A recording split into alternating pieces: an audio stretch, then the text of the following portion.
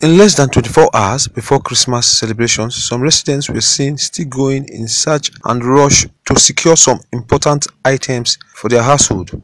An interview with these FCT residents, they say cost of food items and other items is on the high side in this year's Christmas. Even last year was a little bit better. This year is worst. You can't even go to the market and even get something. Just imagine rice. Rice is too expensive. Almost to buy a mood of rice is close to 2,000 naira. How much was it to now? Last year you can even buy it for 700 naira, 800. That last year, 26, 27, the last year. I'm this year, the rice is very expensive. Well, well. Last month, last uh, the salad two five. Today the salad three thousand naira. If as a father you said to your child, tomorrow I'm going to pay your school fees, the child will be happy knowing too well he will not be driven out of school.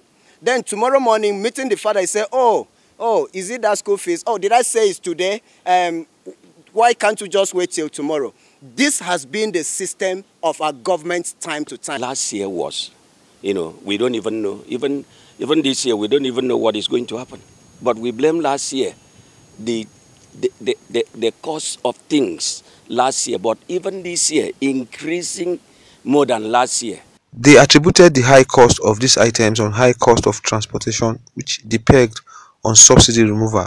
This year, fuel subsidy has been removed, and that now makes the suffering of last year to triple this year. You know, in the day of transition, you you announce, you know, the removal of subsidy that was a source of succor you know, to the people without a proper arrangement on the modalities that will cushion the effect of that implementation.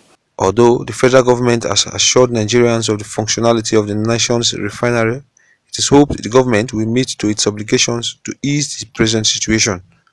Chu Kaunhai, ITV News.